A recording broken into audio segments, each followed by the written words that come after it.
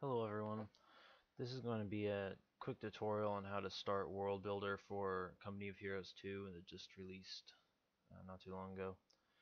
Um, first things first is define World Builder. Um, it's in your Steam, Steam Apps, Common, Company of Heroes 2. So you just go to your Steam folder, Steam Apps, Common, Company of Heroes 2, and it should be at the bottom here. Don't open that yet.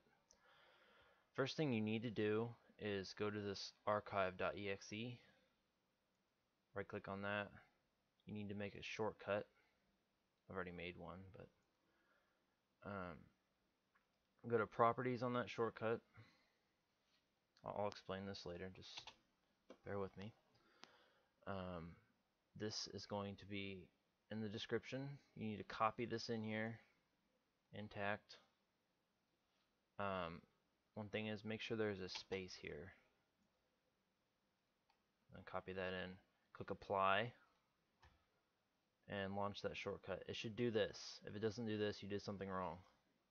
What this is, is this is all the maps and scenarios that are already in the generic game itself. Um, now, that extracted them to COH2 data, scenarios, MP. That's everything it just did. Okay.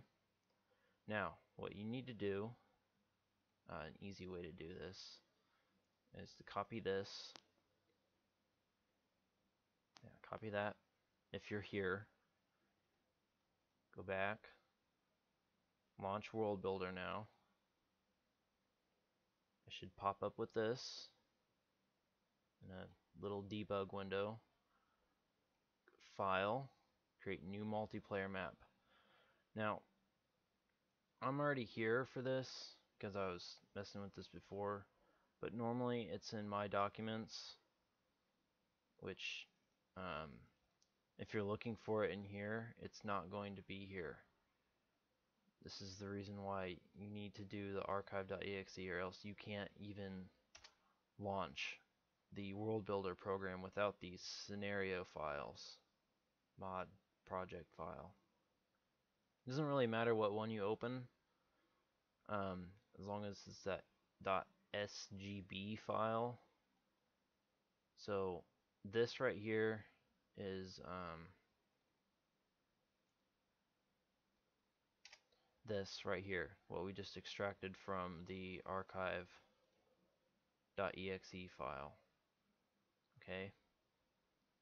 Now open this, open. It'll load all that and then it will pop up with this. Create new scenario and it wants to know the map size. Let's just do random. I don't care, I'm not going to make a map. Okay. And then you basically are free to do whatever you want in this world builder program. Um, one thing when you save this, you save as, and you have to put it in this file path when you save it. Be under mods and scenarios. So it has to be in your documents under my games, Company of Heroes 2, mods, and scenarios. You save all of your maps here. Save.